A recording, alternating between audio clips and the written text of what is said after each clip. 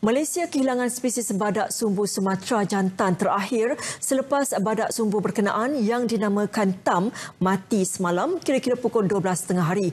Kematian Tam yang dilaporkan tenat sejak minggu lalu diumumkan Jabatan Hidupan Liar Sabah.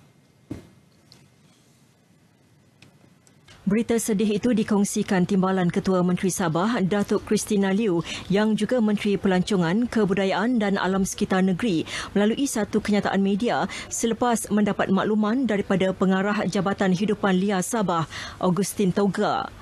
Menurut Datuk Kristina, kematian Tam amat menyedihkan walaupun pelbagai usaha dilakukan untuk menjaganya. Katanya Tam dipantau dan dijaga pasukan Borneo Rhino Alliance bawah pengawasan Dr. Zainal Zahari di Borneo Rhino Sanctuary, Tabin Wildlife Reserve Lahad Datu. Jelas beliau kematian Tam dipercayai berpunca daripada kegagalan beberapa organ selain usia tua. Bagaimanapun punca kematian akan diumumkan selepas proses bedah siasat selesai dilakukan.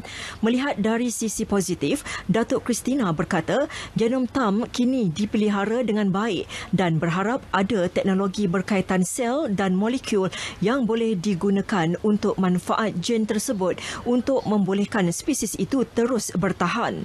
Malaysia kini hanya mempunyai seekor lagi spesies badak Sumatera iaitu Iman yang merupakan badak Sumatera betina yang dijaga di pusat sama.